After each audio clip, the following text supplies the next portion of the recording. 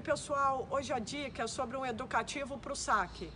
O movimento muito usado é essa extensão dos braços com a flexão do dominante para a laçada e pegar essa bola aqui em cima. Então a gente vai trabalhar isso. Na primeira parte, você vai estender os dois braços dessa forma. Na segunda etapa, você estende os braços, mas flexiona o dominante para trabalhar a laçada. No terceiro movimento, você faz a mesma coisa, mas agora você lança a bola.